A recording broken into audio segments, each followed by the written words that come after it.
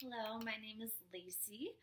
I was born and raised in Denver, Colorado. I spent the last five years living in Steamboat Springs, Colorado, um, but I've been in Colorado my whole life. I created my own major this year by combi- combining music business and communications. I decided to do this so I could just focus on the business aspect of music business degree and still graduate. So that's what I'm doing. I am a senior. I expect from this course to gain skills to be confident in public speaking.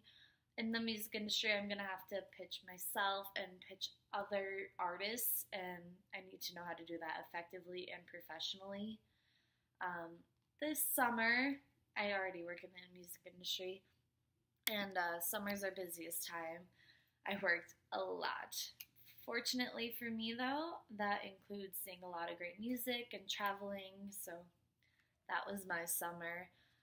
Um, by looking at me, you might not guess that my real passion is art. I'm really into ceramics and painting, um, but I just do that in my free time. Uh, yeah, so wonderful to meet everyone. Have a great semester.